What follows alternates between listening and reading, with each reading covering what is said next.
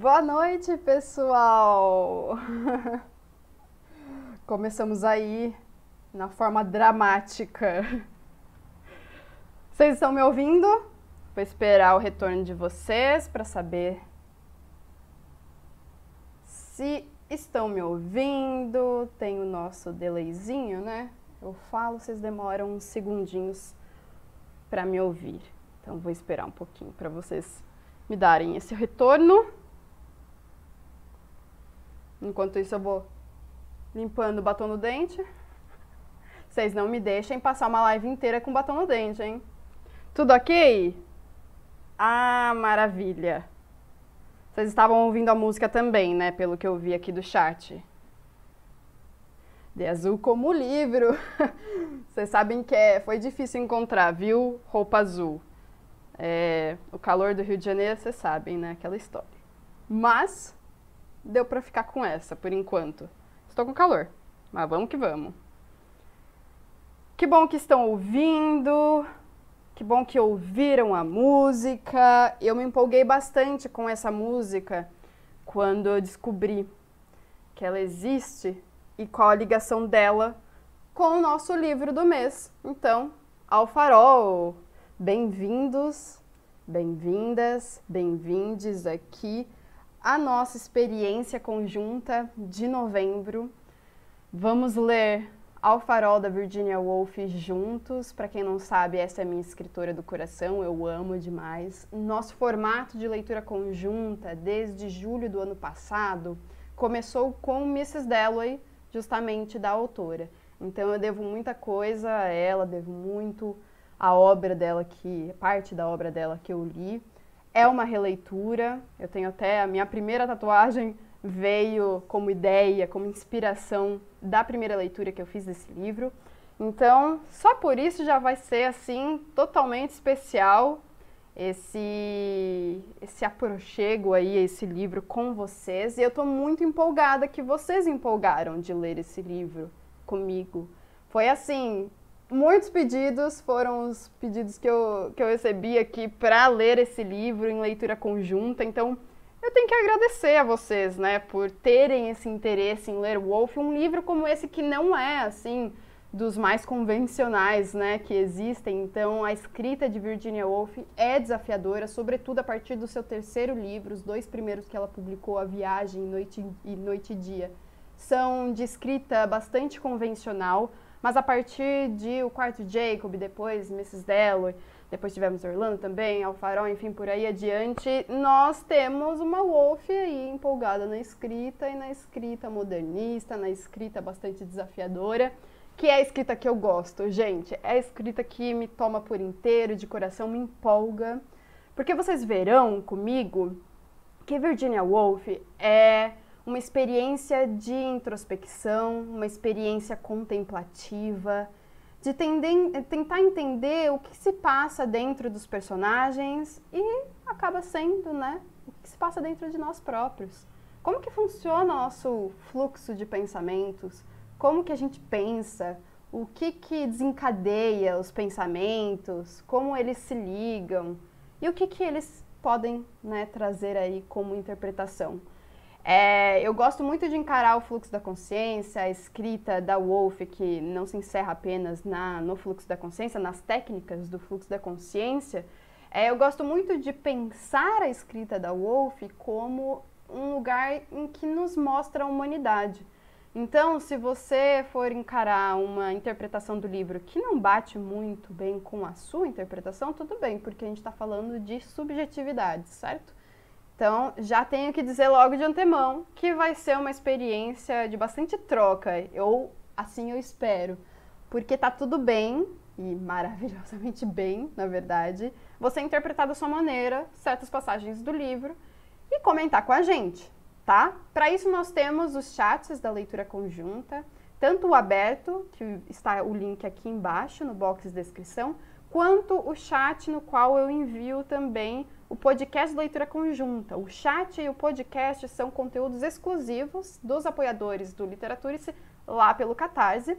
Não é um conteúdo obrigatório para você participar da leitura conjunta de forma alguma, tá bem? Mas é, fica aí como uma recompensa, como um agradecimento a quem apoia o meu trabalho e apoia a continuidade das leituras conjuntas que temos aqui no Literatures.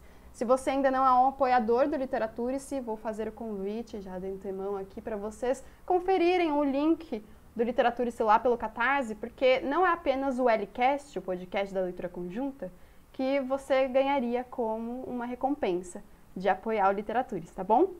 Então, fica aqui também o meu informe para os apoiadores que estão apoiando o Literaturice já, que o grupo para o acesso ao LCast, ao chat, enfim, exclusivo dos madrinhos, já está no ar desde o final da semana passada. E o link e também todas as outras recompensas, os apoiadores encontram na própria página do Literaturice lá no Catarse, na aba Novidades. Ali é um sistema de postagem, tipo blogs, assim, em que eu escrevo e envio para vocês as novidades. A partir do momento que você se inscreve, você recebe um, uma notificação. Né? Na verdade, é o mesmo conteúdo você recebe por e-mail, ok? Mas você tem acesso a tudo que já foi postado lá para o seu plano no, na aba Novidades. Ok? É por isso que, por exemplo, quem entra agora no apoio ao literatura recebe os 13 ou 14 vlogs que já saíram desde o ano passado, que são exclusivos também do, dos apoiadores, tá bom? É, nosso cronograma da leitura conjunta, para quem não está sabendo, já saiu também, está no destaque ao farol lá no Instagram e também no gru nos grupos do, da leitura conjunta no Telegram. Hoje eu postei para vocês um arquivo que eu até estou com ele aqui aberto do ladinho, porque eu, é a minha colinha de hoje também é, é, um arquivo no qual eu contextualizo um pouquinho o livro, que já já vou, vou, vou replicar aqui para vocês, para quem ainda não leu. Eu contextualizo um pouquinho do onde, quando, quem são os personagens, como é a escrita do livro. Então, eu acho importante contextualizar esse tipo de, de livro, assim, mais desafiador.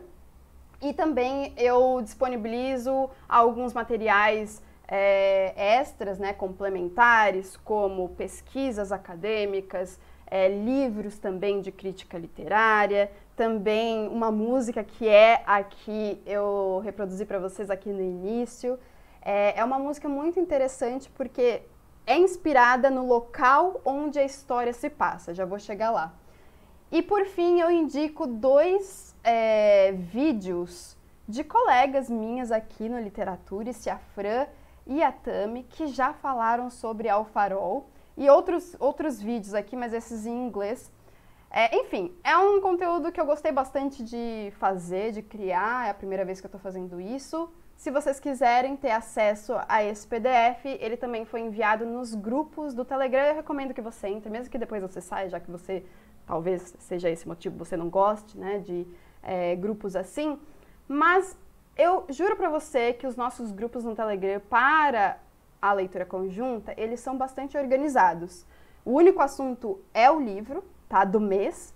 Temos as regras básicas que também funcionam para o chat das nossas lives, por exemplo, de hoje, que é o respeito a todos e tudo, enfim, é o respeito acima de tudo. E também lá nos chats a gente tem como uma outra regra uh, o fato da questão dos spoilers, então a gente sempre comenta o que lemos no dia anterior, no dia seguinte. Hoje, a gente não vai comentar muita coisa lá nos chats, porque a gente não teve uma meta anterior, no dia anterior. Então, o que nós lemos hoje, nós vamos com poder comentar sobre isso apenas amanhã. Porque, por exemplo, se eu sou a pessoa que trabalha durante o dia inteiro e só vou poder ler a meta do dia à noite, eu não quero entrar no chat e comentar o que já me veio à mente durante a leitura, eu não quero entrar no chat e receber um spoiler do que eu vou ler hoje, entende?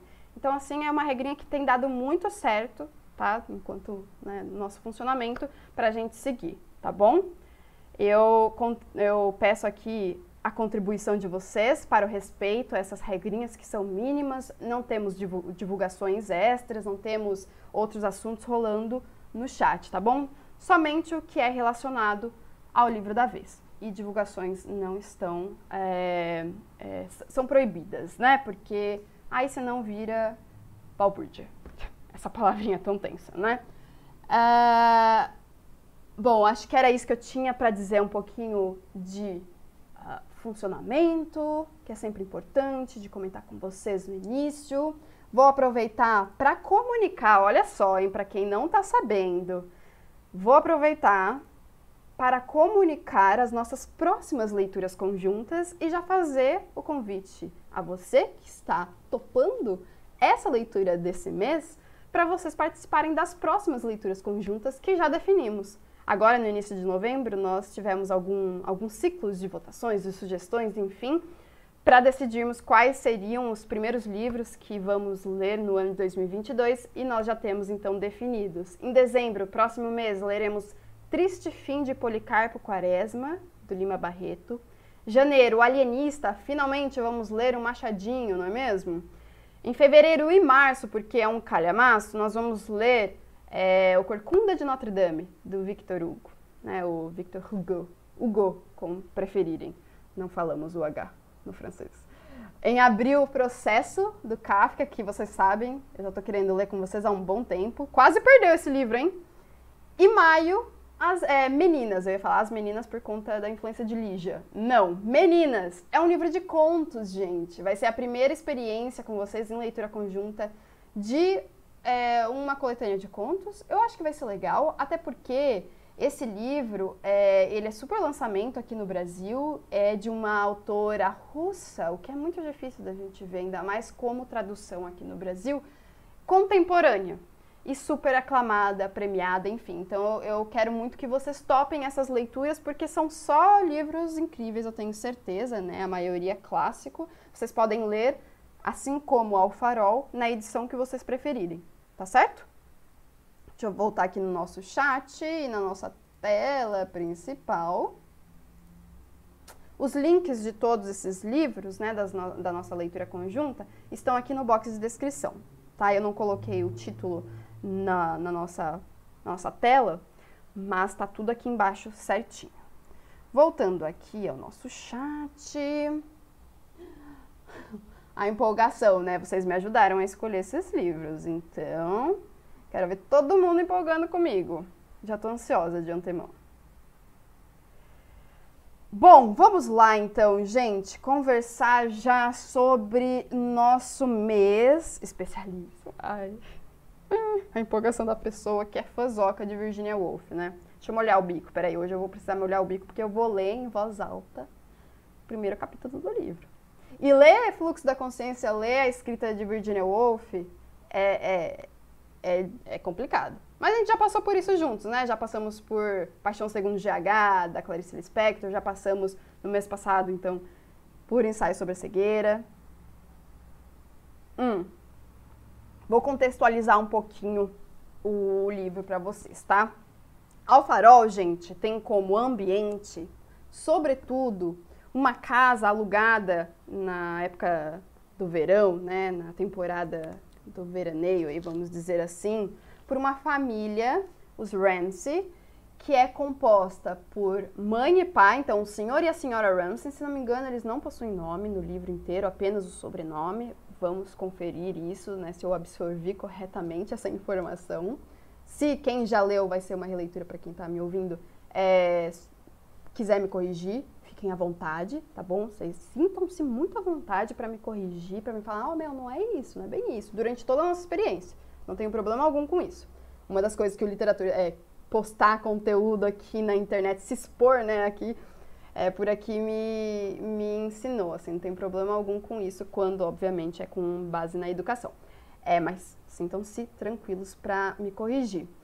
É, então, pelo senhor e senhora Ramsey, o senhor Ramsey, ele é um professor de filosofia, tá? E também, essa família é composta também por pelos oito filhos do casal. Gente, são oito filhos. E eu tenho a minha colinha aqui, né? Como eu disse para vocês, porque são, são muitos personagens. É, temos quatro filhas, a Prue, a Rose, a Nancy e a Cam. E quatro filhos o James, que é o que nós vamos ter logo aqui no início, que se não me engano é o caçula, o James, o Jasper, o Roger e o Andrew, tá?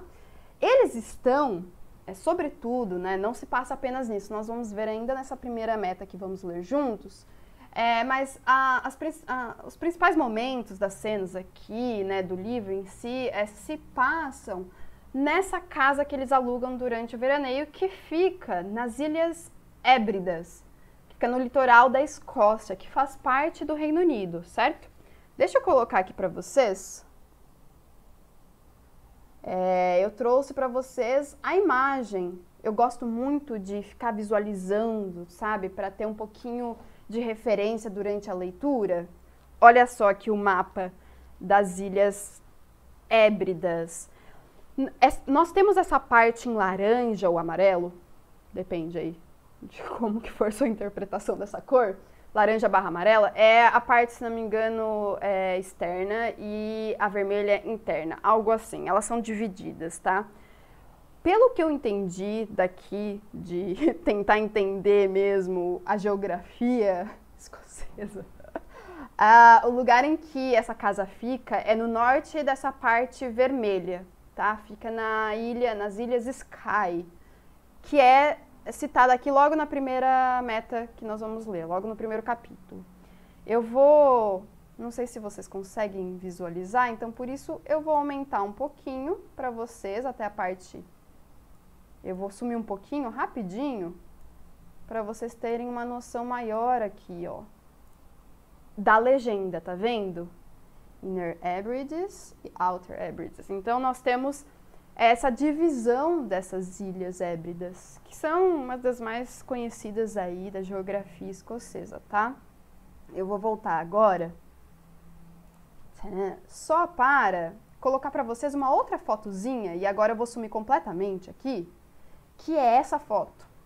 Essa foto é justamente dessa ilha Sky aí. Eu não lembro se eu, se eu posso falar no plural, acho que sim, por ser um arquipélago. Mas é onde o, o, a casa fica, é onde o livro se passa, para vocês verem como que tem essa atmosfera um pouco mágica. Não, a gente não tem isso no livro, tá? Mas eu acho muito bonita essa paisagem. Nós temos essa, esse litoral bastante recortado, né? É, com, com esse ambiente que eu acho que se impõe um pouco. Deixa eu voltar aqui. Vocês têm essa mesma impressão que eu, assim, esse ambiente de tão grandioso, ele acaba se impondo um pouco em tudo, né, na vida, eu acho. Eu acho, acho que seria assim morar num lugar desse, assim como é, por exemplo, morar aqui no Rio de Janeiro e ficar é, com, cotidianamente dar de cara com umas coisas grandiosas da natureza. E isso, isso sim, não, não essa questão, essa atmosfera mágica, não. Isso daí é mais uma coisa minha, assim, falando sobre uma impressão a respeito de uma foto. Mas isso sim, né, é, vai estar, ou pelo menos eu noto na leitura de Alfarol, esse ambiente dominando um pouco é, a, a, paisagem até mesmo interna. É, é, é estranho falar isso, né? Mas a atmosfera mesmo do ambiente ali é, residencial, vamos dizer, né, domiciliar. Então, eu queria trazer essas fotos, né, tanto a do mapa quanto justamente desse lugar recortado. Eu não sei se era um farol que tinha ali, mas aquela construçãozinha que estava ali, para vocês terem um pouquinho mais de noção a respeito do ambiente no qual o livro se passa, que eu acho que para mim é algo bastante importante pensar esse ambiente, né? Bonito, né? Acho que é Ilha de Sky mesmo. Tem até música. Ah, é? Tem música de quem? Curiosa estou agora.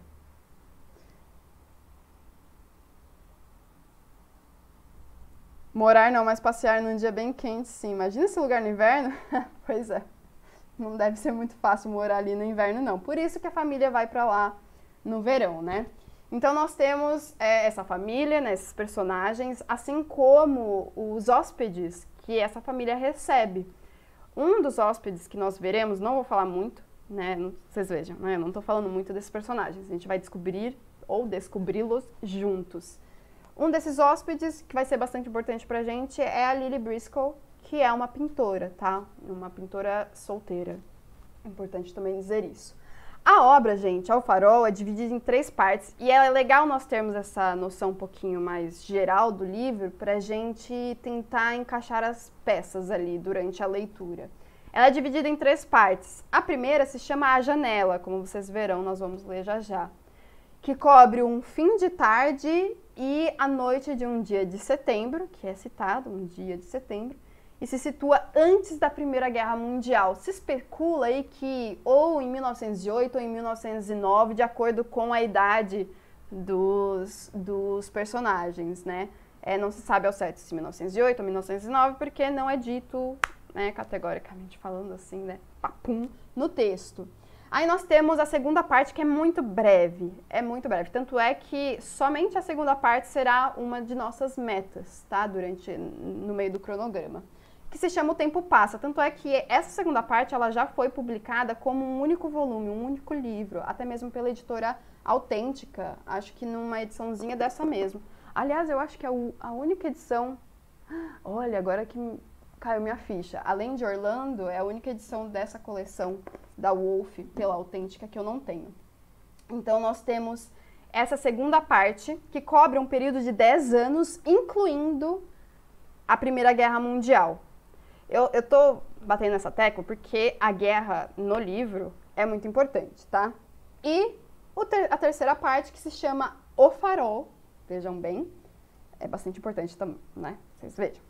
Cobre uma manhã de um dia logo após a Primeira Guerra, ao final da Primeira Guerra, tá certo? Então, só para dar assim uma contextualizada aqui com vocês, a narrativa, como eu também explico lá no PDF, é bastante desafiadora, mas creio que muito mais no início da leitura. Aos poucos a gente vai se acostumando, mesmo que com algumas dificuldades aqui e ali, aos poucos nós vamos nos acostumando com essa imersão, tá? Na, na subjetividade dos personagens. E eu já vou é, explicar aqui logo para vocês que o narrador de Virginia Woolf, ou pelo menos o narrador aqui em Alfarol, ele gosta de focar é, em várias perspectivas, não apenas em um personagem, na perspectiva de um personagem, nos pensamentos de um personagem. Vira e mexe, nós temos uma mistura de várias perspectivas, de vários pensamentos ali. Então é, é interessante também tentarmos entender quem está falando o que ali. Eu acho que uma das principais dificuldades na leitura de um livro não convencional como esse vem daí, dessa dificuldade real, oficial, de entendermos de quem vem esse pensamento, de quem vem essa fala, tá bom? Skyboat Song. Tema de abertura de. Ah, Outlander, eu não sabia. Bom, mas faz sentido, porque Outlander é, se passa na Escócia, né? Olha só! Mas eu ainda não assisti Outlander. Na verdade, é, confesso que assisti o primeiro, ao primeiro episódio, mas não empolguei tanto. Minha mãe devorou e indiquei pra ela, porque eu pensei, ah, acho que minha mãe vai gostar. Ela devorou e me indica, preciso assistir.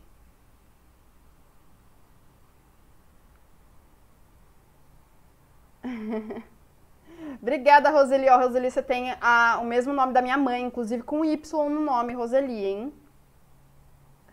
Bom, então era isso que eu queria comentar com vocês. É, acho que é Ilha mesmo. Eu coloquei no PDF Ilha no singular, então é, acho que é isso mesmo. é, vejam lá depois o PDF, tá? Eu trago algumas outras coisas também por lá, não apenas isso. Eu só li o, o iníciozinho do PDF. Então entrem por lá no nosso grupo no Telegram. Eu acho que tá aqui embaixo o, o link. Qualquer coisa vocês me avisem que eu atualizo, tá bom? Bora lá ler então o primeiro capítulo? Bora lá. Vocês estão com o livro de vocês? Ah, eu nunca li esse livro, Viva o Povo Brasileiro. Fiquei curiosa agora. Quer dizer, já era curiosa. Quero muito ler esse livro. Ah, agora você me atiçou, viu, Albert? Bora lá então, vamos ler é, o primeiro capítulo da primeira sessão aqui uh, do livro, intitulada, como eu disse, é A Janela, ok? Ai, ai. Dá uma relaxadinha aqui para fluir melhor. Ela me ama bastante, viu, Rosane? Ou assim eu espero. Simbora então. Sim, claro, se amanhã fizer bom tempo, disse a senhora Ramsay. Mas terão de acordar com os galos, acrescentou. Ao filho, essas palavras transmitiam uma alegria extraordinária, como se a questão estivesse resolvida. a expedição estivesse destinada a se realizar e a maravilha pela qual tinha ansiado por anos a fio parecesse estar, após a escuridão de uma noite e o velejar de um dia, ao alcance da mão. Como ele pertencia, mesmo com seis anos, àquele imenso clã que não consegue manter esse sentimento separado daquele, mas deve deixar as perspectivas futuras, com suas alegrias e tristezas, nublar o que está realmente à mão, como para essas pessoas, mesmo na mais tenra infância, qualquer giro na roda da sensação tem o poder de cristalizar e transfixar o momento sobre o qual ela lança sua obscuridade ou sua radiância, James Ramsey, sentado no chão, recortando gravuras do catálogo ilustrado das lojas do Exército e da Marinha, conferia a, a gravura de um refrigerador enquanto a mãe falava um gozo celestial. Percebam então que James Ramsey é o nome desse filho que está recortando as figuras do catálogo e que recebeu essa fala da mãe, né? não sei sim, claro, se a mãe fizer bom tempo, recebeu de uma forma assim empolgadíssima, né? Ela estava envolta em prazer. O carrinho de mão, o aparador de grama, o som dos álamos, as folhas empalidecendo antes da chuva, as gralhas grasnando, as vassouras batendo, os vestidos farfalhando, todas essas coisas eram tão coloridas e distintas em sua mente que ele já tinha o seu código pessoal, a sua linguagem secreta, embora aparentasse a imagem de absoluta e intransigente severidade, com sua fronte elevada e seus penetrantes olhos azuis, impecavelmente cândidos e puros, franzindo levemente os senhos à vista da fragilidade humana, de maneira que a sua mãe, que a mãe, observando manejar habilmente a tesoura em volta do refrigerador, imaginou todo em arminho e rubro no tribunal ou administrando um caso espinhoso e decisivo em alguma crise dos negócios públicos. Então veja a mãe imaginando o futuro do filho só de observá-lo. Mas, disse o pai, parando em frente à janela da sala de estar, não fará bom tempo. Tivesse havido um machado à mão, gente, olha isso, um atiçador ou qualquer arma que tivesse aberto um buraco no peito do pai, não, até me empolguei tivesse havido um machado à mão, um atiçador ou qualquer arma que tivesse aberto um buraco no peito do pai, matando-o ali na, e naquele instante, James o teria empunhado. Tais eram os extremos de emoção que o Sr. Ramsay provocava no peito dos filhos por sua simples presença. Em pé como agora, fino como uma faca, estreito como a lâmina de uma faca, sorrindo sarcasticamente, não apenas pelo prazer de desiludir o filho e expor ao ridículo sua mulher, que era dez mil vezes melhor do que ele sob todos os aspectos, pensou James, mas também por alguma secreta presunção a respeito da certeza de seu próprio julgamento. O que ele dizia era verdade, era sempre verdade. Era incapaz de uma inverdade. Nunca manipulava um fato. Nunca alternava uma palavra desagradável para se adequar é, ao prazer ou à conveniência de qualquer ser mortal, menos ainda de seus próprios filhos, que, saídos de suas costelas, deviam estar conscientes desde a infância de que a vida é difícil. Os fatos, inenarráveis, e a passagem para aquela terra lendária onde nossas mais vivas esperanças se extinguem, extinguem nossos frágeis barcos afundam na escuridão Aqui o Sr. Ramsey endireitaria as costas estreitaria os seus olhinhos azuis em direção ao horizonte. É uma passagem que exige, sobretudo, coragem, verdade e força para resistir. Vejam que precisa de bastante fôlego para acompanhar aqui essa sequência né, narrativa, até porque é, é como se fosse um jorro de pensamentos mesmo, né? Aqui nós não temos necessariamente o fluxo em algum outro momento nós temos, mas não necessariamente o fluxo como um todo, né? Mas ainda assim nós temos esse jogo de informações. Continuando. Mas fará bom tempo. Espera, espero que faça bom tempo, disse a senhora Ramsey, dando impacientemente uma leve torcida na meia marrom avermelhada que estava tricotando. Se a terminasse esta noite, se realmente fossem afinal ao farol, deveria ser dada ao faroleiro para seu filho pequeno que estava ameaçado de tuberculose do quadril juntamente com uma pilha de revistas velhas e algum fumo. Na verdade, qualquer coisa que ela pudesse encontrar jogada pela casa e não fosse realmente necessária, mas que estivesse apenas atravancando o quarto para dar àquelas pobres criaturas que deviam se entediar mortalmente por ficarem o dia inteiro sentadas, sem fazer nada além de polir o farol e aparar o pavio e ficar passando o ancinho de um lado para o outro na sua nesga de jardim, alguma coisa para distraí-las. E aqui eu estou na página 7 do livro. Pois, como nos sentiríamos se tivéssemos que ficar calados por um mês seguido, em tempo de tormenta, talvez mais, em cima de uma rocha do, ta do tamanho de uma quadra de tênis? Perguntava-se ela.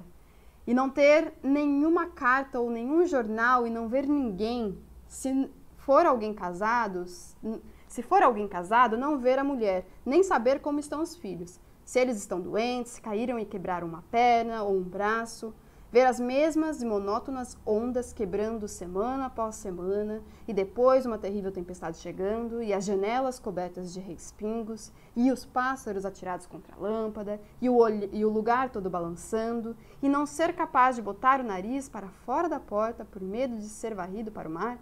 Como vocês se sentiriam? perguntava ela, dirigindo-se em particular às suas filhas.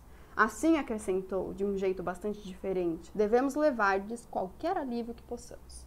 Eu acho interessante como a repetição do e aqui mostra justamente esse andamento de bastante tédio, né? A demonstrar justamente o que ela está querendo significar ali, elencando todos esses elementos aqui, todas as situações.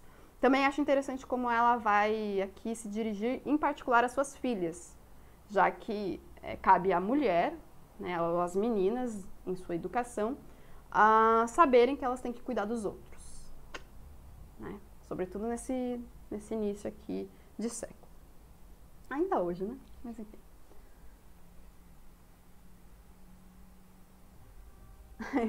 Game of Thrones é você? Eu não tinha ligado. Feito essa ligação. Voltando. Eleste disse uh, o ateu Tansley, mantendo os dedos ossudos estendidos para que o vento soprasse por entre eles, né? Pois ele estava acompanhando o passeio vespertino do Sr. Ramsay pelo terraço, para cima e para baixo, para cima e para baixo. Quero dizer, o vento soprava da pior direção possível para irem ao farol. Sim, ele dizia mesmo coisas desagradáveis, admitia a Sra. Ramsay. Era odioso da parte dele trazer isso à baila e deixar James ainda mais desapontado, mas, ao mesmo tempo, ela não permitiria que rissem dele. O ateu era como o chamavam, o pequeno ateu. Rose zombava dele, Prue zombava dele, Andrew, Jasper, Roger zombavam dele. Até o velho Badger, sem um único dente na boca, tinha lhe dado uma mordida, por ser, como disse Nancy, o centésimo décimo jovem cavalheiro a percorrer toda essa distância atrás deles até as Hébridas, quando era muitíssimo mais agradável ficarem ali sozinhos. Bobagem, disse a senhora Ramsay, muito severamente. A parte o hábito do exagero que herdaram dela e da implicação, que era verdadeira, de que ela convidava pessoas demais para ficar com eles, tendo que alojar algumas delas na vila, ela não conseguia tolerar demonstrações de indelicadeza para com seus convidados, em particular para com jovens cavalheiros que eram pobres como ratos de igreja, excepcionalmente capazes, dizia o marido, grandes admiradores deles e vinham ali passar as férias. Na verdade, ai gente, olha que importante isso. Na verdade, ela mantinha a totalidade do sexo oposto sob sua proteção.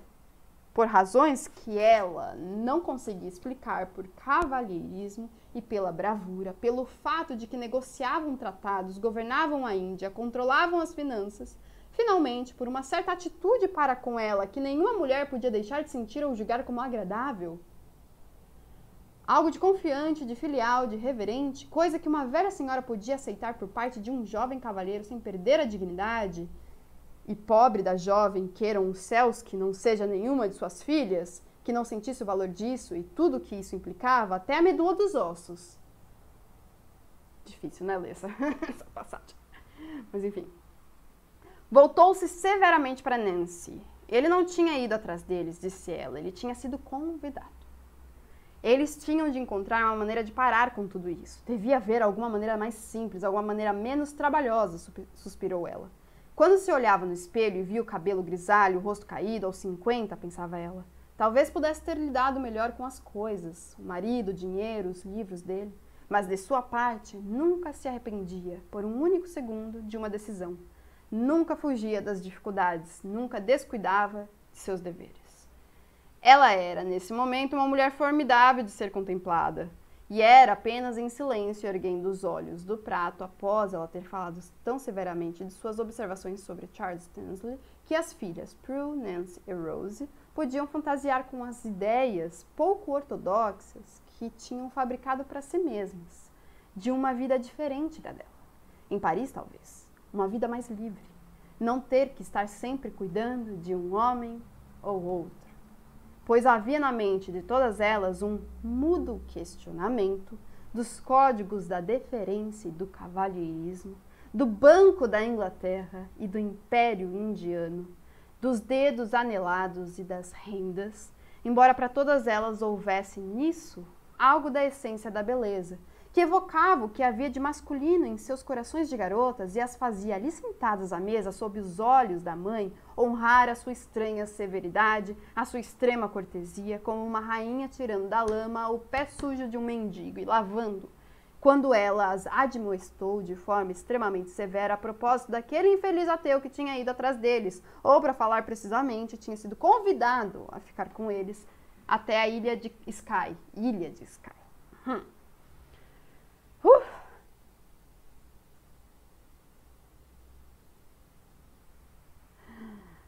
Oi, Gu!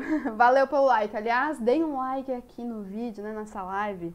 Vocês que estão aí com o botão ativado, né, na verdade, disponível, dê o seu joinha, por favor. Voltando. Não vai dar para ir ao farol amanhã, disse Charles Tansley, batendo uma mão contra a outra, ali postado à janela com o marido dela.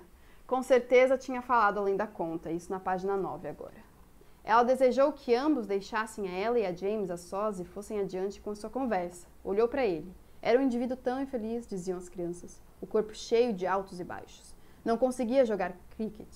Andava aos trambolhões, arrastava os pés. Ele era um bruto cheio de sarcasmo, dizia Andrew.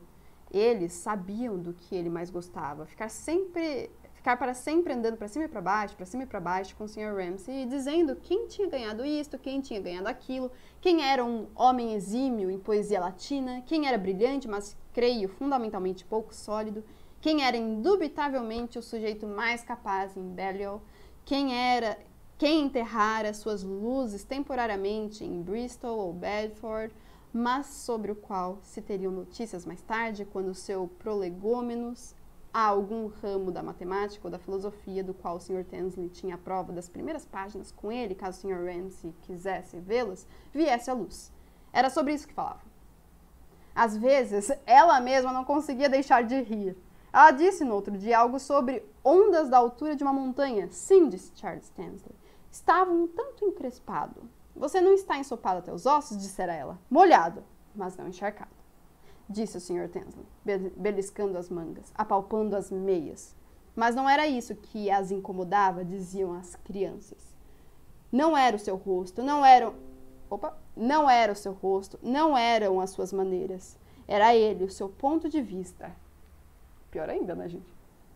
Quando elas falavam sobre algo interessante, pessoas, música, história, qualquer coisa, simplesmente comentavam que fazia uma noite bonita, por que não iam sentar lá fora? É, então, o que elas se queixavam a respeito de Charles, Charles Tansley era que, enquanto não tivesse virado a, co a coisa toda de ponta cabeça, qualquer coisa, né, gente? Pelo jeito ele queria virar de ponta cabeça, fazendo com que, de alguma forma, refletisse ele próprio e as rebaixasse, enquanto não deixasse todas elas, de alguma maneira, com seu jeito amargo de espremer o sumo e a polpa de tudo, todas elas com os nervos à flor da pele, ele não ficava satisfeito. E ele ia às gal a, galeria de, a galerias de arte, perguntavam ela.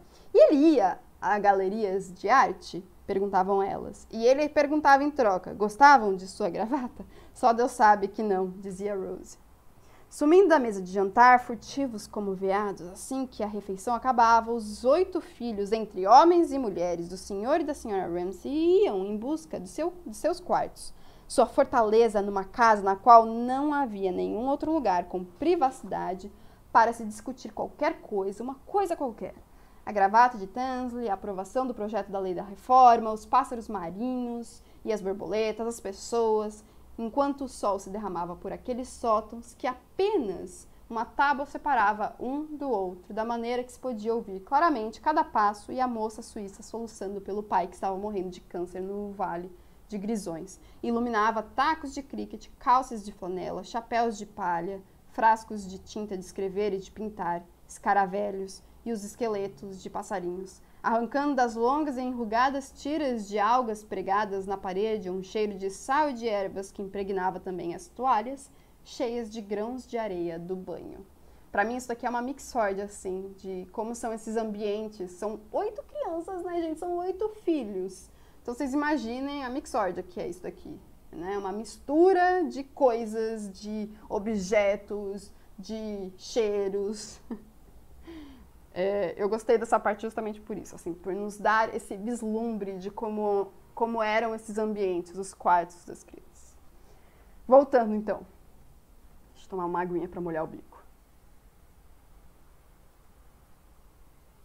É bem verborrágica. Eu não acho que seja precisamente verborrágica, né? Eu acho que é uma sequência com bastante dificuldade, porque tem esse fluxo de informações. A gente já vai conversar sobre essa meta no final, tá? Da leitura. Voltando aqui, página 10. Conflito de visões, diferença de opinião, preconceitos estavam entrelaçados à fibra mesma do ser. Ó, oh, que eles devessem começar tão cedo era algo que a senhora Ransom lamentava. Eram tão críticos os seus filhos, diziam tanta bobagem. Saiu da sala de jantar, segurando James pela mão, pois ele não queria ir com os outros. Parecia-lhe uma grande bobagem inventar diferenças quando as pessoas, sabe Deus, eram diferentes o bastante sem isso. As diferenças reais, pensou, de pé junto à janela da sala de estar, são o bastante, mais do que o bastante. Tinha em mente, naquele momento, o rico e o pobre, o de cima e o de baixo. Os grandes de nascença recebendo dela um tanto a contragosto, algum respeito, pois não tinha ela nas veias o sangue daquela muito nobilíssima, ainda que ligeiramente mítica, casa italiana, cujas filhas, espalhadas pelos salões ingleses do século XIX, tinham ciciado tão graciosamente, tinham vociferado tão ferozmente, e toda a sua verve, todo o seu porte, todo o seu gênio vinham delas, e não das pachorrentas inglesas ou das frias escocesas. Mas, mais profundamente, ela ruminava o outro problema, o dos ricos e o dos pobres, e das coisas que via com seus olhos próprios, com seus próprios olhos, toda semana, todo dia, aqui ou em Londres, quando visitava pessoalmente esta viúva ou aquela esposa aflita, com uma bolsa no braço, uma caderneta e um lápis, com o qual anotava em colunas cuidadosamente traçadas para esse propósito, salários e despesas, emprego e desemprego, na esperança de que assim ela deixaria de ser uma mulher restrita ao lar cuja caridade servia um pouco para aplacar a sua própria indignação e outro pouco para satisfazer a sua própria curiosidade e tornar-se aquilo que, com uma mente sem preparo formal, ela admirava imensamente, uma pesquisadora em busca da elucidação do problema social. Questões insolúveis essas, é o que pareciam a ela, ali em pé, segurando James pela mão. Ele a tinha seguido até a sala de estar, aquele jovem cavalheiro do qual tinham rido. Ele estava de pé junto à mesa, mexendo e remexendo alguma coisa, sem jeito, sentindo-se fora de lugar, sabia ela, sem precisar dar meia volta para ver. Tinham todos saído, os filhos, Minta Doyle, Paul Rayleigh, Augustus Carmichael, o marido, tinham todos saído. Assim, voltou-se com um suspiro e disse: Será que se incomodaria de vir comigo, Sr. Tensley? Tinha uma volta nada interessante a fazer na cidade. Tinha de escrever uma ou duas cartas. Levaria uns dez minutos, talvez. Ia pôr o chapéu. E com sua cesta e sua sombrinha, ali estava ela novamente, dez minutos mais tarde, dando a impressão de estar pronta, de estar equipada para uma excursão, a qual, entretanto, deveria interromper por um momento ao passarem pela quadra de tênis para perguntar ao Sr. Carmichael que estava aproveitando o calorzinho com seus amarelos olhos de gato quase fechados, de maneira que, tal como os olhos de um gato pareciam refletir os ramos se mexendo ou as nuvens passando, mas sem dar o mais leve indício de qualquer pensamento ou sentimento interior, se ele queria alguma coisa. Então ela queria passar pela quadra de tênis para perguntar para esse senhor Carmichael se ele queria alguma coisa lá do vilarejo, né? Pelo jeito. É, essa essa passagem que estava aproveitando o calorzinho até o sentimento interior, para mim é um fluxo de consciência, tá? Se interpõe bastante aqui na narrativa, inclusive. Voltando. Não, André, nós não vamos ler o livro inteiro em voz alta. Nós sempre lemos o início, a nossa primeira meta do, do cronograma em voz alta, na nossa primeira live, tá bom? Da leitura conjunta. E seguimos as próximas metas, ou seja, as próximas leituras aí, as, é, o livro inteiro, né? A leitura do livro inteiro, uh, cada um por si, mas comentando nos chats da leitura conjunta, tá certo? É só aqui é uma cerimônia também para a gente sentir o livro juntos. Depois que terminarmos de ler aqui, a gente conversa mais um pouquinho. Pois eles estavam fazendo a grande expedição, disse ela, rindo-se. Estavam indo à cidade. Selos, papel de carta, fumo? sugeriu ela, parando ao seu lado. Mas não, ele não queria nada. As mãos se cruzaram sobre a volumosa barriga, os olhos piscaram, como se ele tivesse desejado retribuir amavelmente essas gentilezas. Ela era sedutora, mas um tanto nervosa mas não conseguia, mergulhado como estava, numa sonolência verde e cinza como a todos envolvia, sem necessidade de palavras, numa vasta e benevolente letargia de bem-querer. A casa toda, o mundo todo, todas as pessoas que o habitavam, pois ele havia deixado cair em seu copo, ao almoço, umas gotinhas de algo que explicavam, na opinião das crianças, a vívida listra de amarelo canário no bigode e na barba, que eram, tirando isso, de um branco de leite. Não, nada, murmurou. Era para ter sido um grande filósofo, disse a senhora Ramsay, enquanto desciam a estrada para a vila pesqueira, mas tinha feito um casamento infeliz.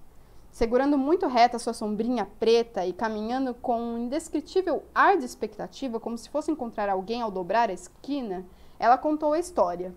Um caso em Oxford com alguma garota, um casamento apressado, pobreza, a ida para a Índia, a tradução de alguma poesia de maneira magnífica, acredito o propósito de ensinar persa ou hindustani aos meninos. Mas qual era realmente a utilidade disso? E depois, como eles viram, ficar ali deitado na grama. Era algo que o lisonjeava, rejeitado como fora, consolava-o que a senhora Ramsay lhe contasse tudo isso. Charles Tansley é, reanimou-se, insinuando, além disso, como ela o fez, a grandeza do intelecto do homem, mesmo em sua decadência, a, sujeit a sujeição de todas as esposas à ocupação de seus maridos, mas eu vou voltar agora. A sujeição de todas as esposas, não que culpasse a garota e o casamento tinha sido feliz o bastante, acreditava ela. A ocupação de seus maridos. Eu gosto sempre quando tem essa interposição de pensamentos que ela coloca no meio da narrativa, mais convencional, não diria, vamos dizer assim, mas ao narrador em terceira pessoa, né? eu gosto sempre de voltar à leitura do que tinha antes para ler com o que tem depois. Então, a sujeição de todas as esposas à ocupação de seus maridos, ela fez, ela o fez sentir-se mais satisfeito consigo mesmo do que nunca. E ele teria adorado, se tivessem tomado um táxi, por exemplo, ter pago a corrida. Quanto à sua pequena bolsa, não poderia ele carregá-la? Não, não, disse ela. Aquilo ela mesma sempre carregava. Ela carregava mesmo, Sim, ele sentia isso nela. Ele sentia muitas coisas, alguma coisa em particular que o provocava e o perturbava por razões que ele não conseguia explicar. Ele gostava que ela o visse vestindo uma beca. Não, ele gostaria que ela o visse vestindo uma beca e um capelo, caminhando num cortejo universitário, uma cátedra, uma posição de professor titular. Sentia-se capaz de qualquer coisa e via-se como. Mas o que estava ela olhando? Um homem colando um cartaz. A enorme e ondulante folha se ajeitava sozinha e cada passada do pincel revelava pernas frescas, arcos cavalos, vermelhos e azuis cintilantes, maravilhosamente lisos, até a metade da parede ficar coberta com o anúncio de um circo. Uma centena de cavaleiros, vinte focas amestradas, leões, tigres. Esticando o pescoço, pois era míope, ela leu em voz alta: visitará esta cidade. Era um trabalho arriscado para um homem de um braço só, explicou ela, ficar no alto de uma escada daquele jeito. O braço esquerdo tinha sido decepado numa ceifadeira mecânica dois anos atrás. Iremos todos, exclamou ela, seguindo em frente, como se todos aqueles cavaleiros e cavalos a tivessem enchido de uma exultação infantil, fazendo-a esquecer-se de sua compaixão. Iremos todos, disse ele, repetindo-lhe as palavras escandindo-as, entretanto, com uma tal consciência de si mesmo que a fez contrair-se. Iremos todos ao circo. Não, ele não conseguia dizê-lo direito. Ele não conseguia senti-lo direito. Mas por que não? E agora estou na página 13. Perguntava-se ela. O que havia então de errado com ele? Nesse momento, gostava dele carinhosamente. Não tinha sido levado, não tinham sido levados ao circo, pensou ela quando pequenos? Nunca, respondeu ele, como se ela tivesse feito exatamente a pergunta que ele esperava. Estivera desejando todos esses dias dizer que eles não iam ao circo. Era uma família grande, nove irmãos e irmãs, e o pai um trabalhador. Meu pai é farmacêutico, ele tem uma farmácia. Ele próprio tinha se arranjado sozinho desde os 13 anos. Muitas vezes saía sem um casacão no inverno.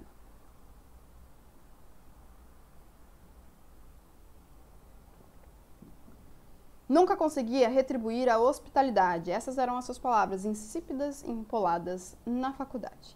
Tinha que fazer as coisas durarem duas vezes mais do que as outras pessoas. Fumava o mais barato dos fumos, fumo de terceira categoria, o mesmo que os velhos fumavam nos cais. Trabalhava duro, sete horas por dia. O seu tema atual era a influência de alguma coisa sobre alguém.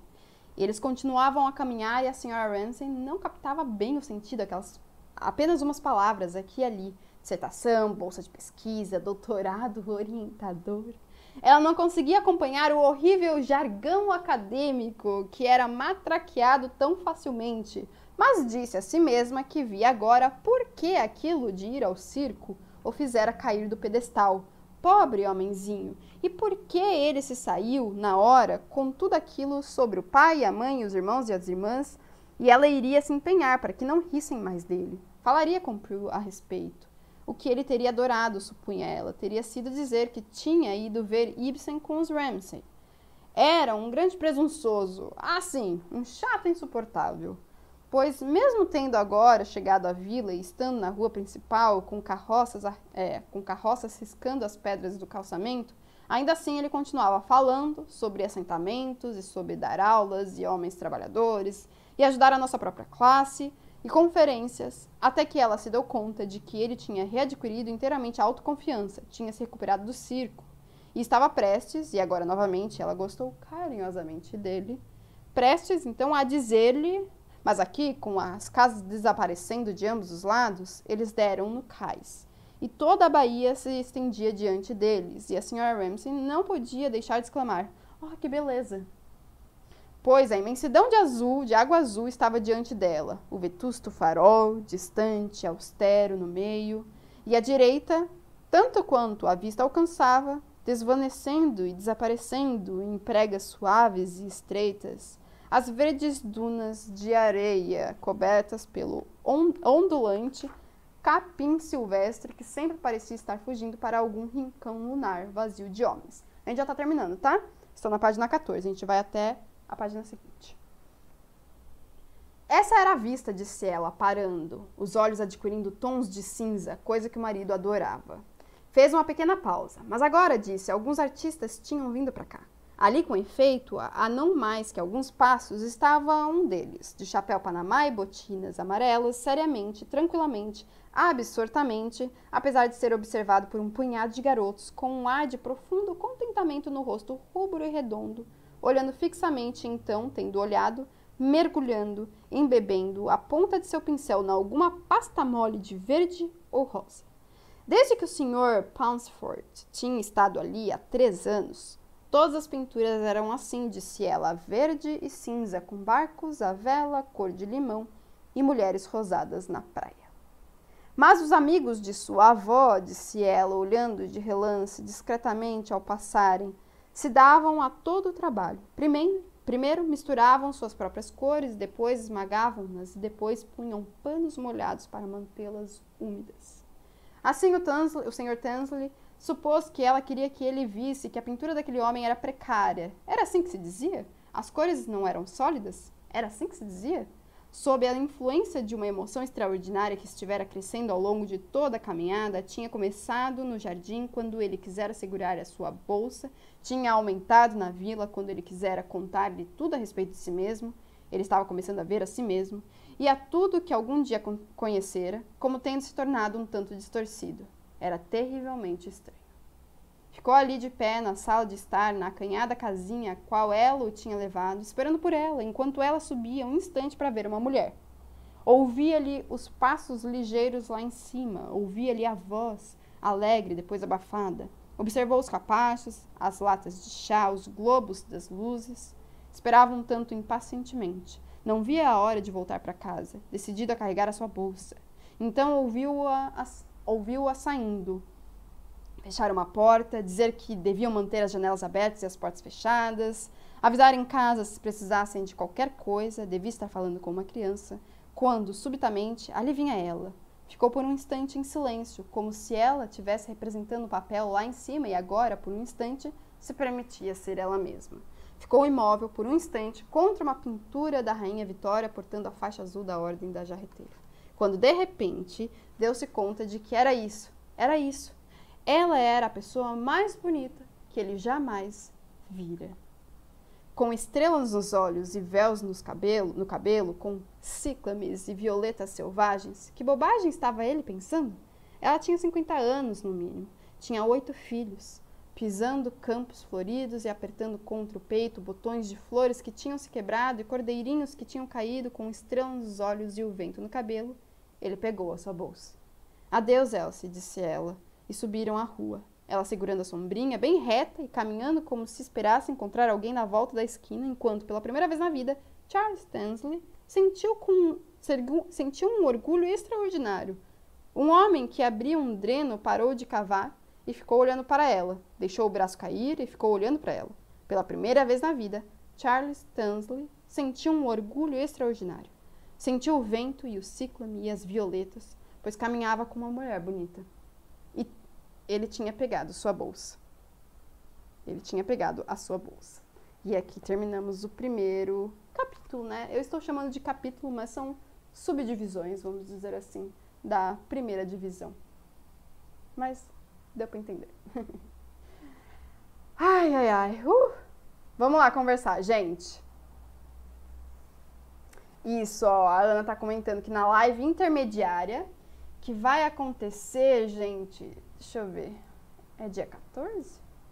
Só um minuto, que eu vou contar pra vocês certinho. No dia, não, olha só, no dia 16, uma terça-feira, às 7 horas da noite, nossas lives sempre ficam salvas.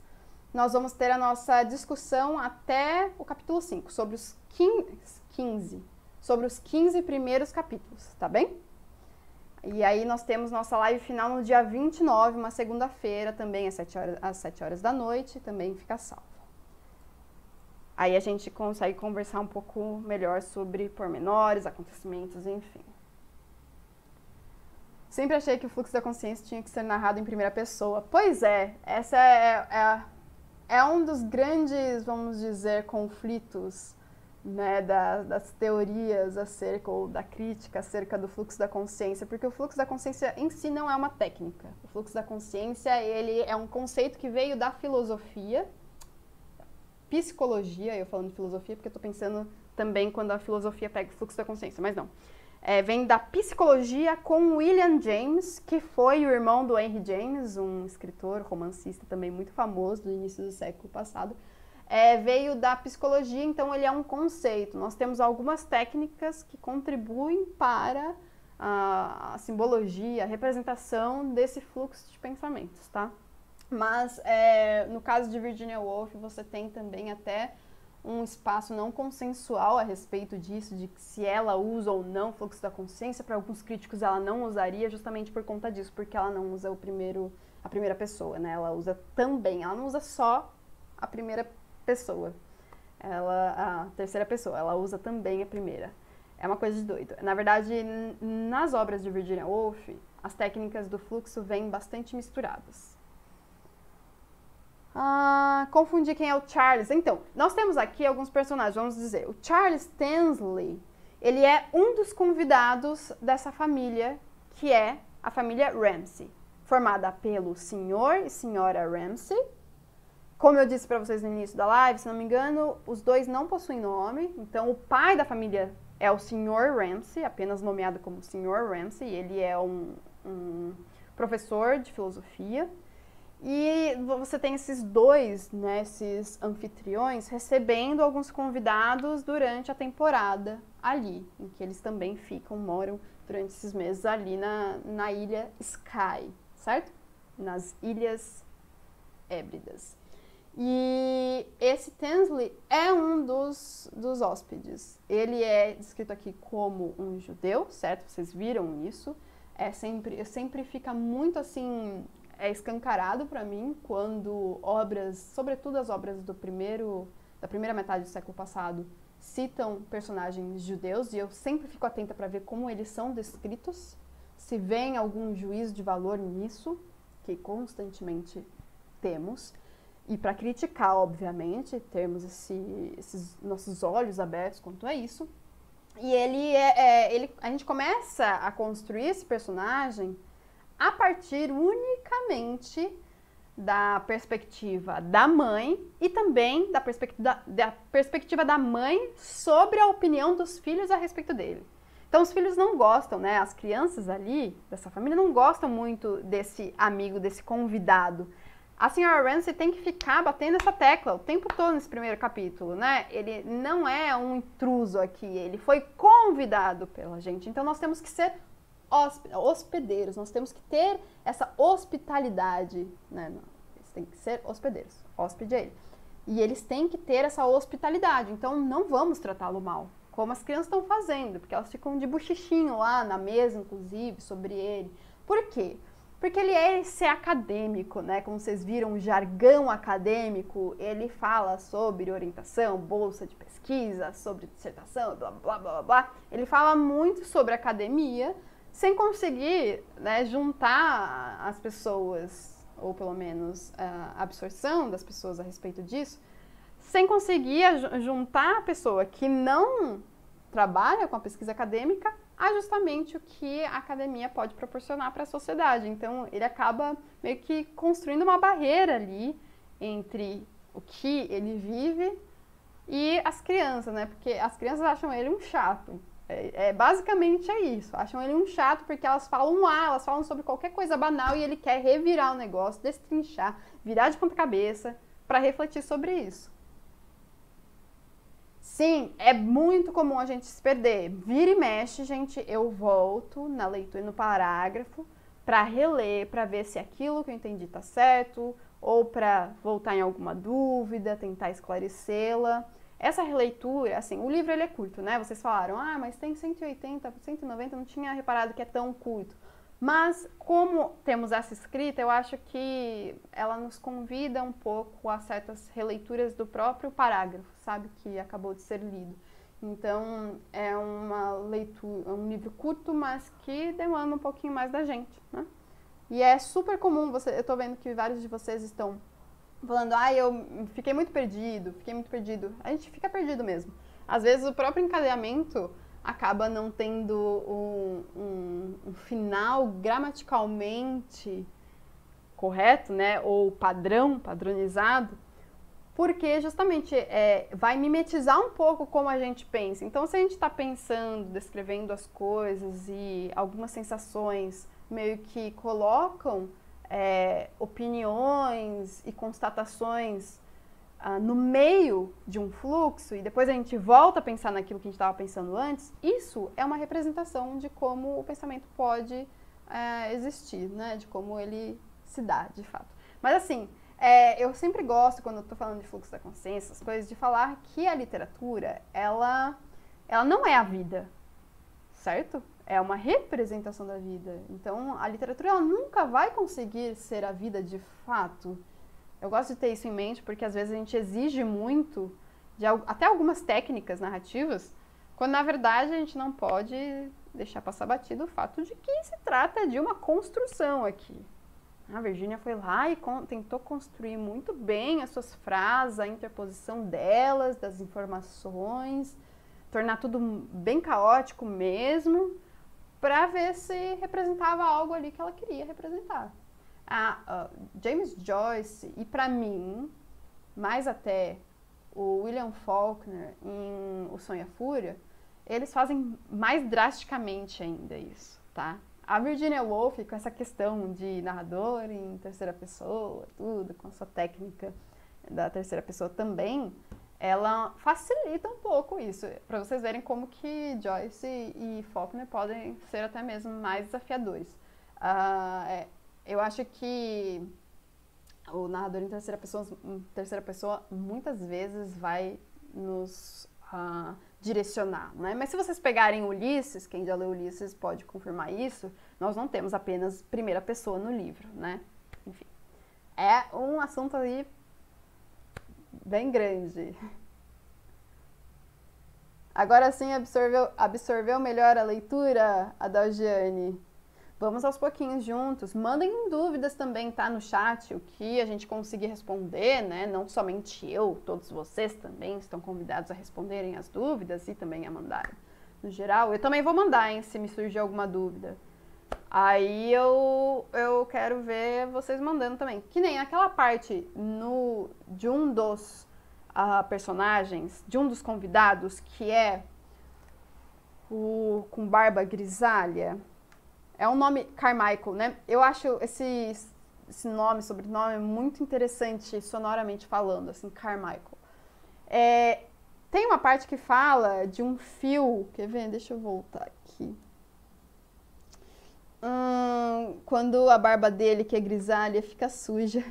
E quando eu li pela primeira vez, agora na releitura, eu comecei a entender um pouquinho mais do que se trata, mas na primeira leitura eu fiquei. Eu fiquei, nossa, mas o que, que é isso? Aqui, ó, na página 11, pelo menos da minha edição. Eu sei que mesmo na edição da autêntica, nas reedições, reimpressões, a paginação tá errada, tá, não, não, não coincide, né? Mas na minha edição, que é um pouquinho antiga já, tá na página 11. Diz assim, ó, uh, no final do penúltimo parágrafo.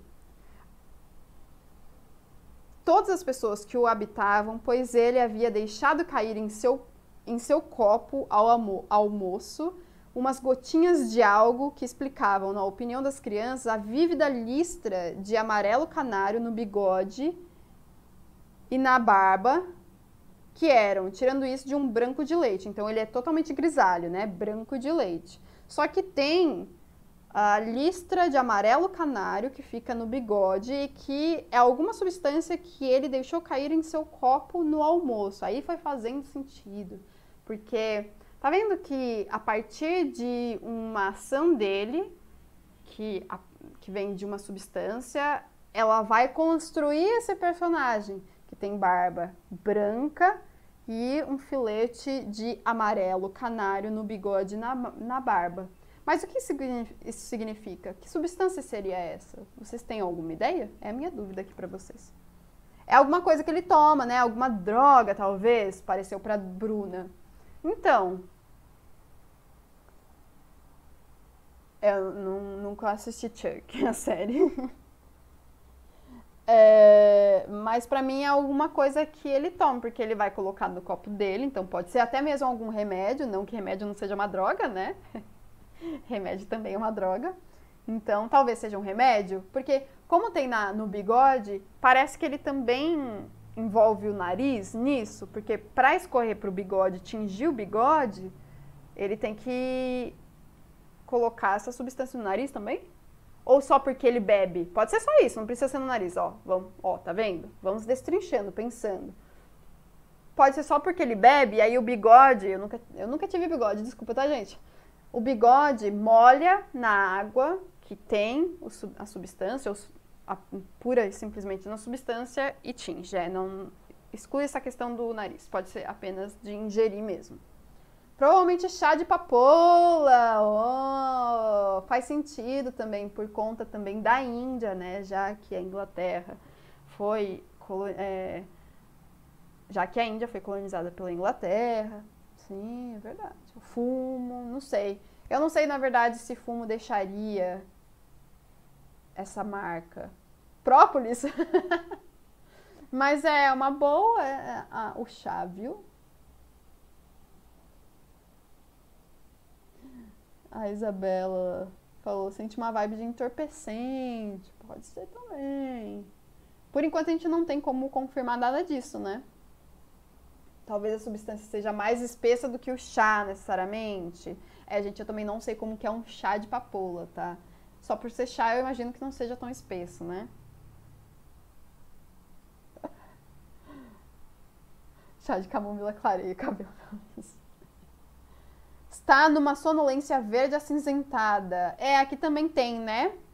o verde acinzentado. Eu tinha entendido que a barba era simplesmente manchada e as crianças ficavam especulando sobre o que ele tomaria para causar a mancha.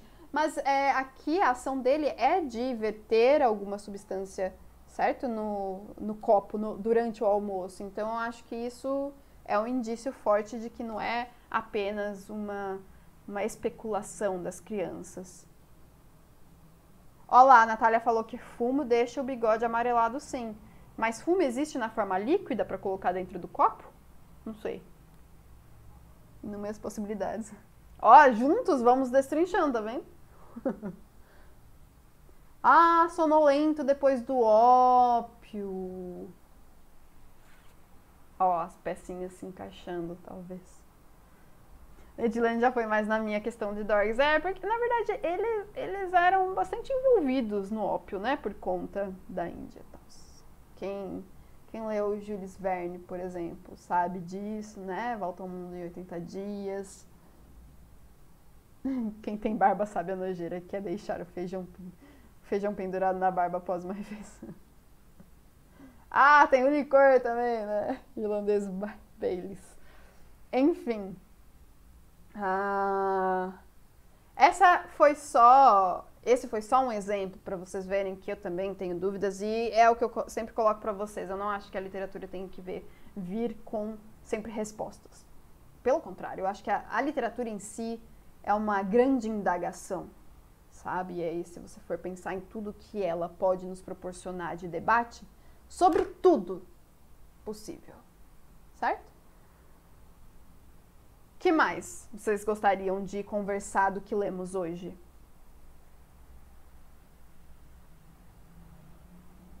Já o Gado de Brotas acha que essa sonolência é do cochilo pós-almoço mesmo. Nada demais. Também é uma possibilidade até agora.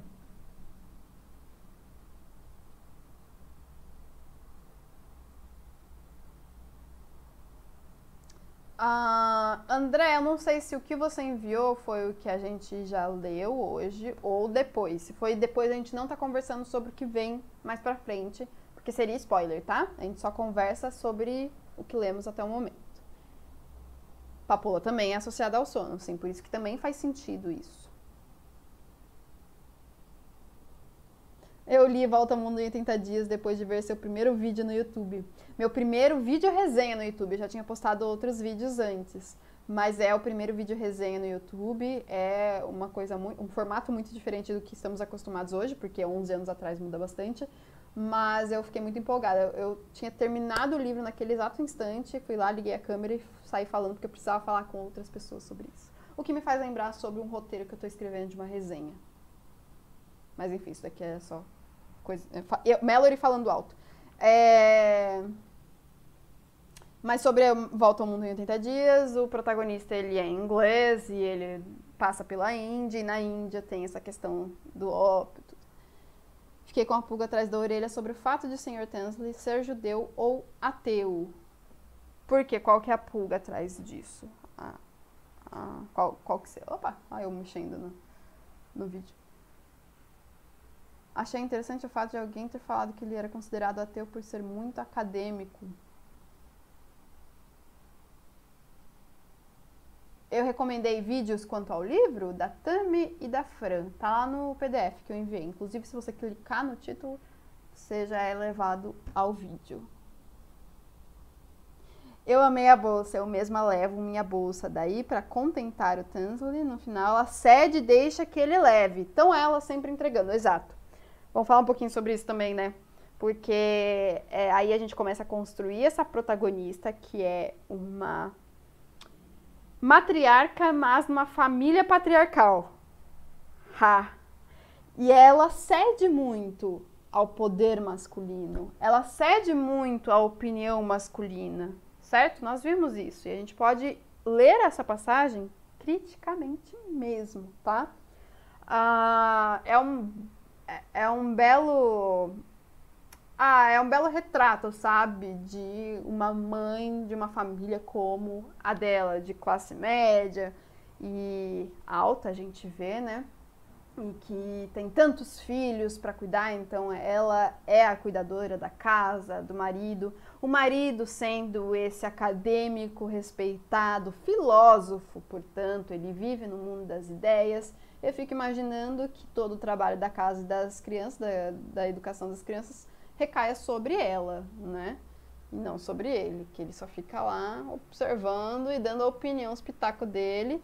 Tanto é que nós vimos logo no início a opinião do próprio caçula a respeito dele, que é muito, é muito medonha, na verdade, né? Ele pensa, chega a pensar em matá-lo. Eu acho que não deixa de ser uma coisa bastante real, essa reação dele de ser contrariado, inclusive porque logo na sequência diz que ele jamais, o pai jamais chegaria aos pés da mãe, né? Que ela era muito melhor em todos os sentidos em relação a ele. Ela era muito melhor, porque ela faz as vontades dele. É ela quem cuida dele. E o pai tá ali, não como cuidador, mas quem vai contrariar também, né? Porque ele coloca as vontades dele e as opiniões dele acima de todos ali.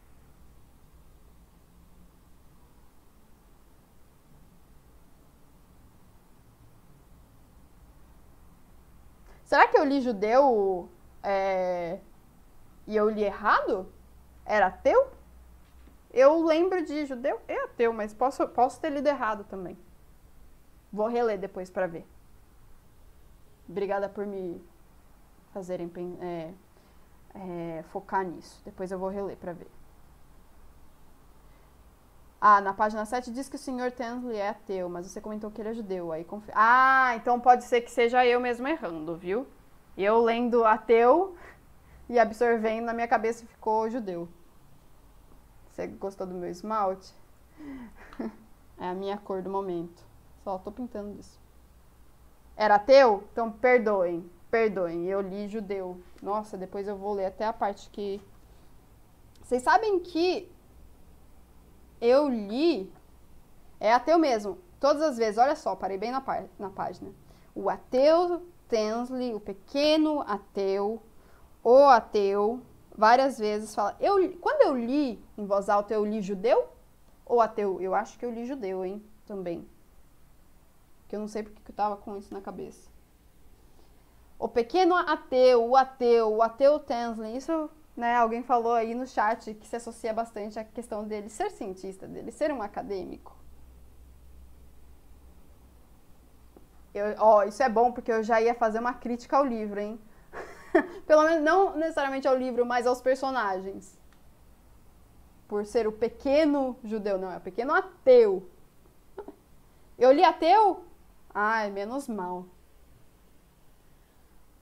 Nesse trecho eu lembrei muito do comecinho do caminho de Swan.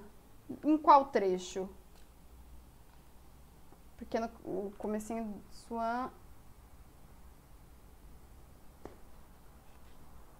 Mas eu ia, eu ia falar sobre a parte do, do menino, né? Sobre o pai. Aqui, ó, na página 6.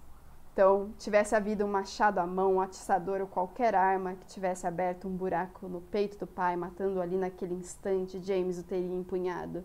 E aí, olha só, tais eram os extremos de emoção que o Sr. Ramsey provocava no peito dos filhos, hein? Não é nem só do James. Dos filhos por sua simples presença. E aí, o sorrindo sarcasticamente, o prazer de desiludir o filho, expor ao ridículo da mulher, é a perspectiva do menino. É para o menino que ele, está, que ele está sorrindo sarcasticamente. A parte do sarcástico aqui é uma percepção do filho, que não gosta nada de, dessa eh, atitude do pai. O prazer de desiludir o filho e ele expondo ao ridículo a sua mulher, né, a esposa dele, é, é uma perspectiva do menino. Olha aqui, a mulher, que era dez mil vezes melhor do que ele sob todos os aspectos. O que ele dizia era verdade, era sempre verdade, para vocês verem né, como ele impõe, justamente. É, aí, gente, uma outra coisa que acontece nesse primeiro capítulo, para quem é, não pegou, é que eu não lembrava disso da minha primeira leitura. É que ela quer, ela está escrevendo umas cartas, ela quer enviar essas cartas, então ela vai até a vila de pescadores, que é provavelmente onde tem um correio, para enviá-la, para postar a sua correspondência. E aí ela pede para esse Charles Tansley, que é o hóspede dela, que está ali dentro da casa com ela, acompanhá-la, porque todos os outros estão lá fora, né? Vocês viram que ela passou pela quadra de tênis para ver se o Carmichael queria que ela trouxesse ou fizesse alguma coisa para ele, já que ela iria até o centro ali da região. Então ela pede para o Tansley acompanhá-la, para ela não ir sozinha, para ele fazer esse favor de acompanhá-la. E eu achei muito interessante, muito curioso acompanhar os pensamentos dele a respeito dessa sua companhia. E ele estava incomodado, não sabendo o que tinha ali, tanto atiçando ele. Aí depois ele percebe que é a sua constatação, né? Depois, quase no final da, da primeira meta, de que ela era a mulher mais bonita, é a mulher mais bonita que ele já vira, sabe? E aí ele se sente um pouco constrangido, talvez, por tê-la ali né, na sua presença, é aquele, aquele sentimento de pessoa muito. Não sei você, gente, mas eu, eu tenho uma dificuldade de conversar com pessoa muito bonita, aquelas, né? Ai, ai. Vamos zoar um pouquinho. Pois é, né, Gadibrotas? Eu, ah, era isso que eu queria falar também. Cadê a Esté pra se maravilhar com esse trecho de amor e ódio pelos pais? Ainda mais partindo de um menino para com a mãe, né? Será que tem um complexo é de piano aí? Sté, cadê você, Sté? O fato de o menino demonstrar um afeto maior, muito maior pela mãe do que pelo pai, me lembrei do caminho de sua. Ai, é verdade, é verdade, em que o personagem anseia o beijo da mãe enquanto o pai é mais distante, verdade. Realmente.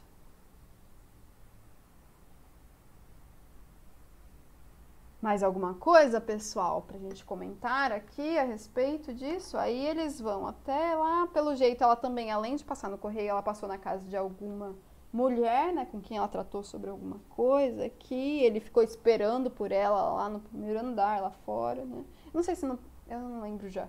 Já não lembro se era no primeiro andar ou lá fora, mas o fato é que ele ficou ouvindo é, os passos dela, a voz dela, tratando com outra pessoa, uma criança, né? E depois quando ela volta, enfim. Muitas coisas para comentar só sobre esse, essas primeiras dez páginas, né?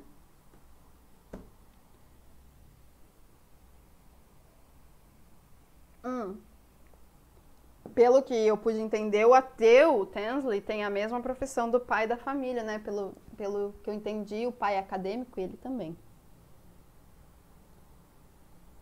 Cláudio recebeu o livro hoje, vai começar a ler daqui a pouco, então tá em tempo. Ah, e a idade dele também.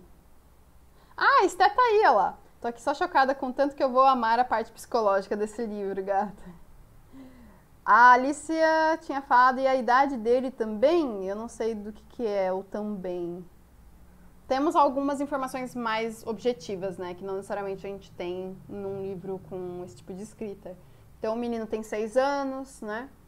É, são oito os filhos. E eu achei muito interessante que logo no início nós já ficamos sabendo quantos filhos eles têm. a, a narrativa não demora para falar, apesar de não entregar logo de cara. É uma coisa muito peculiar de uma escrita como essa, não entregar as coisas logo de cara. Você vai sentindo, e a partir desses sentimentos e de absorvendo os sentimentos também dos personagens, a gente vai construindo. E essa construção, ela nunca é definitiva, porque ela sempre parte de uma perspectiva ou de algumas poucas perspectivas, e nem sempre é a opinião da própria pessoa construída ou personagem construído. Então, isso nos faz pensar que a construção que temos de uma pessoa, ela é nossa, né? Sou eu que penso que o cara é chato porque ele só fala um monte de coisa acadêmica. Pode ser que pro pai, né, o pai da família aqui, ele adore a companhia dele. Entenda? Entende? Então é, é uma, uma, eu gosto muito disso em Virginia Woolf, na obra dela. Ela nos convida a pensar que a construção social, da imagem social de uma pessoa, e isso Proust também faz pra gente em No Caminho de Swan, tá? É, que é o primeiro livro do Em Busca do Tempo Perdido. Ah, a Virginia Woolf ela nos convida a pensar justamente que existem diversas imagens sociais para uma só pessoa. Ou, na verdade, cada um que me conhece, por exemplo, nós estamos aqui com mais de 150 espectadores simultâneos, que é o que estou tendo aqui como informação. Eu, nesse momento, sou 150 pessoas diferentes para vocês. Ou existem 150 imagens da Mallory existindo nesse momento. É louco pensar isso, tá, gente? Mas pensem por vocês mesmos. Ah, quantas pessoas vocês conhecem? Sei lá, vocês têm no Instagram 500 pessoas? 500 pessoas que já passaram pela vida de vocês? 500 pessoas que já pensaram de 500 formas diferentes a respeito, sobre, a respeito de vocês. Ah, enfim, vocês entenderam, né? É louco pensar isso. William James é o psicólogo que primeiro definiu o fluxo da consciência. É isso, Ju. Ah, e ele foi o irmão do Henry James, o romancista. A idade foi em relação ao complexo de Édipo. Sim, é uma criança, né? Então, sim, é por isso que eu pensei no complexo de Édipo, sim. Fiquei vidrado nos comentários, nem falei nada por aqui, mas já amei esse início. Sou muito fã de Virginia e essa culpa é toda sua, meu. Olha, eu nem me arrependo dessa culpa, viu? Pode vir. Não, é William Faulkner. Não, não, não, Rafa. Rafael, é William James mesmo que ela queria dizer. William James, como eu estava falando lá no início da, da nossa live de hoje, se você perdeu, veja lá no início. É William James, o fluxo da consciência veio da psicologia. William James foi o psicólogo que primeiro definiu o fluxo da consciência. Aí a teoria e crítica, sobretudo crítica literária, pegou para si esse conceito e, enfim, aplicou nas técnicas narrativas, ou aplicou as técnicas narrativas em prol desse fluxo da consciência. Mas Ju é isso mesmo, William James. Mas também nós temos em William Faulkner o fluxo da consciência. Os dois estão corretos. Achei profundo. É, é doido ficar pensando nisso. Tá? Imagine eu, né? Aqui, sei lá com quantos mil inscritos estamos aqui no canal hoje mais de 150 mil. Ai, ai, meu Deus, é doido ficar pensando nisso. Por isso que eu nem exijo muito mais de mim, sabe? Ah, as pessoas vão pensar o que quiserem mesmo. É tudo a projeção a partir do eu. É, até a gente, se a gente for ver qual é a nossa construção sobre nós próprios. Ah, mas não vamos entrar nisso não, né? Porque senão a live vai ficar reflexiva mesmo. Bom, gente, Mel, sinto lhe dizer, mas vou soltar sua mão dessa vez. Eu já imaginava. É, sim, ela tá admirando o quadro, né, da rainha. Que provavelmente estava ali naquela casa que ela esteve. Não, não errou não, Rafa. Não errou não. Você tá certo. O fluxo da consciência existe em O Sonho e a Fúria do William, William Faulkner, sim. É que talvez ela estivesse me perguntando sobre o que eu comentei sobre sobre o fluxo da consciência lá no início da live. Bom, pessoal, vamos comentando sobre esse primeiro capítulo. Ó, lembrem-se de que nós vamos só poder comentar lá no chat. Eu vou deixar abrir aqui o chat agora. Mas no chat, nós só vamos poder comentar sobre esse primeiro capítulo que lemos e estamos discutindo até agora amanhã, tá bem? Para quem ainda não conseguiu ler a primeira meta e participar da live não pegar spoiler já de, de início. Eu vou agora, ó lá, liberei para vocês o chat, tá bem? E tanto dos madrinhos que já estava liberado, quanto o chat aberto, está, os dois estão liberados. A partir de amanhã a gente comenta sobre o que nós lemos no dia anterior, que é hoje, no caso.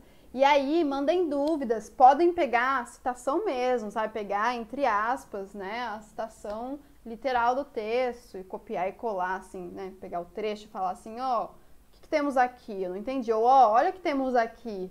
Olha a minha ideia a respeito disso. E aí a gente vai replicando um ao outro, vamos nessa troca, porque ler Virginia Woolf em leitura conjunta nos convida a isso. Ok? Nem se eu quiser eu solto a mão. Vou precisar de LQS para navegar nessa leitura. Lembrando que ainda dá tempo, quem ainda não apoia o Literaturas pelo Catarse para receber o podcast da leitura conjunta, ainda dá tempo, tá? Porque o primeiro episódio vai sair não amanhã, depois de amanhã, ok? Agora nossos episódios são saem dia sim, dia não, ok? Mas continua comentando todo o conteúdo, como sempre. É só a periodicidade que mudou desde a leitura conjunta passada. É isso, eu respondi agora a Laísa. Mas, Laís, eu, eu coloquei lá no canal do. nos chats, na verdade, e no canal também do podcast, eu coloquei as datas em que os podcasts, os episódios vão sair, tá bom? Não, Esté, é depois de amanhã que vai sair. É isso, né? Até eu fico confusa às vezes. Até me acostumar com esse no, essa nova periodização. Periodicidade, periodicidade. Acho que eu vou gostar mais que de Mrs. Dalloway. Olha! Olha! A mulher falando abobrinha, a nossa protagonista falando abobrinha de, de rico e pobre, eu só pensando no gato de brotas, lendo Lígia Fagundes Telles e vendo a classe, a burguesia lá, pipipi, popopó. Viu? Eu penso em vocês. Eu já conheço muito de, muitos de vocês. Só pelas nossas trocas.